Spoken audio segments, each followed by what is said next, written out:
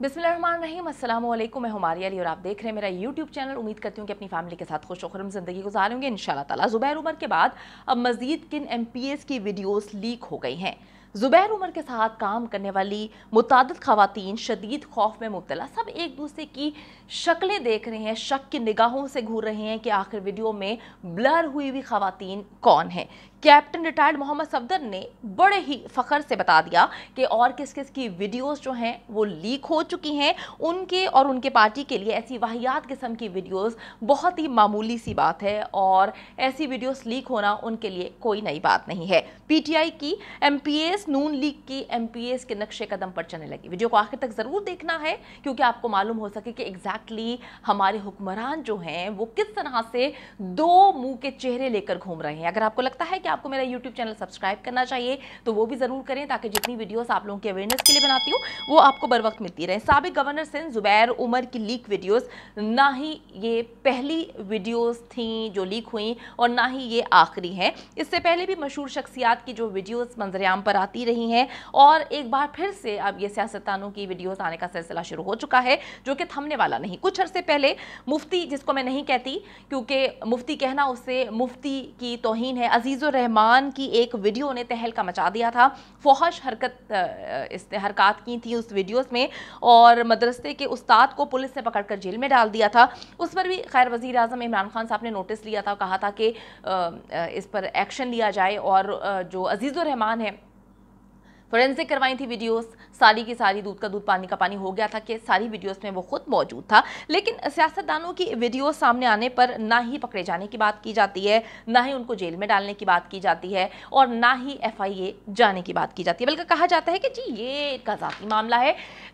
इससे ना उछाला जाए, ना उनसे पूछा जाए। बड़ी बातें करने वाली ज़ाती मामला है तो फिर ज़ाती चीज़ों को अपने घरों तक महफूज रखें। अगर आप अपनी ज़ातियात को, अपनी ज़ाती ज़िंदगी को या अपनी गंदगी को दुनिया के सामने लेकर आएँगे जीनत बनाएँगे सोशल मीडिया की तो डेफिनेटली फिर सब सवाल पूछेंगे, क्योंकि ये कोई आम शख्स नहीं, ये सबक गवर्नर सिंध रह चुका है। अच्छा जी, ये भी कहा जाता है कि अगर किसी मर्द ने किसी औरत के साथ बाहिमी रजामंदी से ताल्लुक़ कायम किया तो ये कोई जुर्म नहीं है, ये उनका ज़ाती मामला है। दोनों ने अपनी अंडरस्टैंडिंग के साथ जो है, ये जो गंदा रिश्ता है कायम किया है। दूसरी तरफ़ ज़ुबैर उमर ख़ुद भी एक ट्वीट से आगे बढ़ नहीं सके और ना ही उन्होंने कोई प्रेस कॉन्फ्रेंस में तफसीत बयान की, ना ही F I A cyber crime में दरख्वास्त दायर की, क्योंकि उनकी जानब से तो कहा गया था कि वो जाएँगे।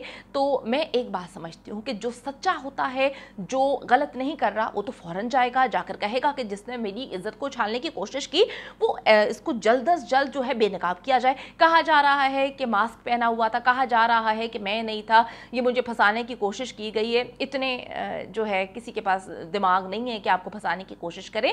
अगर आपको इसमें कोई भी शक व शुबा है तो आपको फ़ौरन एफ़ में जाना चाहिए था, दरखास्त दर्ज करवानी चाहिए थी, लेकिन इनकी जानब से ऐसा कुछ नहीं किया गया, जिससे कन्फर्म्ड होता है कि ये वीडियोज़ इन्हीं की थी और इन्होंने मामले को आगे नहीं बढ़ाना चाहा। और इनको ये भी पता है कि वीडियोज़ किसने जो है रिलीज़ की है। अब एक बात तो कंफर्म है कि वीडियोस बनाने वाला ज़ुबैर उमर तो हो नहीं सकता। वीडियो या तो इन खातन खातून जो उनके साथ मौजूद थी या खातन थी, उनमें से किसी ने बनाई है। और, या फिर हम ये कह सकते हैं कि किसी तीसरे शख्स ने ये वीडियोस जो है बनाई है, जो कि बहुत ही करीबी था ज़ुबैर उमर का, जिसकी रसाई ज़ुबैर उमर के बेडरूम्स तक थी। कुछ वीडियोस में नज़र आने वाले अवारी होटल के कमरे के हवाले से होटल इंतज़ामिया की जानब से कहा गया है कि होटल के कमरों में किसी भी सूरत कहीं पर भी कोई कैमरा नस्ब नहीं किया गया। ये वीडियोस किसी ने ज़ाती हैसियत में ही बनाई हैं और ज़ाती कैमरा से ही बनाई गई हैं। कुछ वीडियोस गवर्नर हाउस में जो है रिकॉर्ड की गई हैं, जिसके बाद मुस्लिम लीग नून की खातन अहदेदारान की ज़िंदगी जो है वो बहुत ही मुश्किल का शिकार हो चुकी है, वो बहुत ज़्यादा परेशान हो चुकी हैं। हर खातून किसी न किसी की माँ है, बहन है, बेटी है, एक ख़ानदान से उनका ताल्लुक है। वीडियो में खातन के चेहरों को जो है ब्लर कर देने से उनकी जो शनाख्त है वो तो छुप गई है, लेकिन ज़ुबैर उमर से मिलने वाली काम करने वाली जितनी भी खातन हैं वो इस वक्त बहुत ही ज़्यादा डर और खौफ में मुबतला हैं। एक दूसरे को ऐसे देख रही हैं कि पता चल सके कि कौन है कोई आ, मतलब शक की निगाहों से देखा जा रहा है। और आ, ब्लर थी वीडियोस में जितनी भी खातन के चेहरे तो एक दूसरे को देख रहे हैं कि कहीं आप नहीं, कहीं आप नहीं।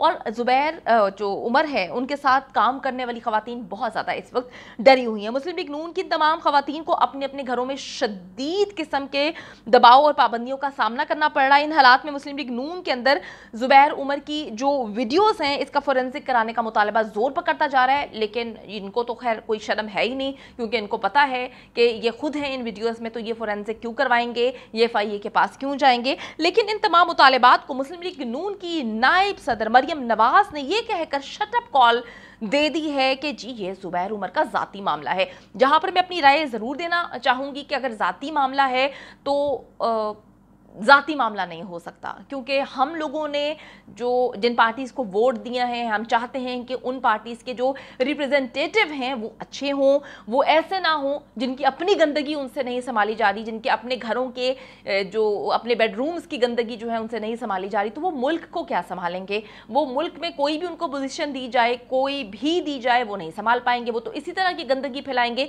तो ये ज़ाती मामला किसी का नहीं हो सकता। जो मरियम नवाज़ हैं, उनको सोचना चाहिए चाहिए ये बयान देने से पहले कि ये ज़ाती मामला किसी सूरत नहीं है। और उन्होंने ये भी कहा है कि ये मेरे तर्जुमान के तौर पर काम करते ही रहेंगे। लेकिन बात यहाँ पर ख़त्म होती हुई नज़र नहीं आती, क्योंकि ज़ुबैर उमर का वीडियो जो पैकेज है, उसकी अभी तो सिर्फ़ झलकियाँ आई हैं, असल फ़िल्म आना बाकी है। और उसके बाद पीटीआई की अच्छा एक और इंपॉर्टेंट चीज़, जो कि बड़ी दुख भरी बातें होती हैं, लेकिन जब ये लोग खुद अपनी इज्जतों की परवाह नहीं करते, अपने आप को दुनिया के सामने नंगा कर देते हैं तो डेफिनेटली फिर हम लोग ऐसे बद बदकिरदार बदलिहाज गंदे लोगों के बारे में बात करते हुए क्यों हिचकिचाएँ?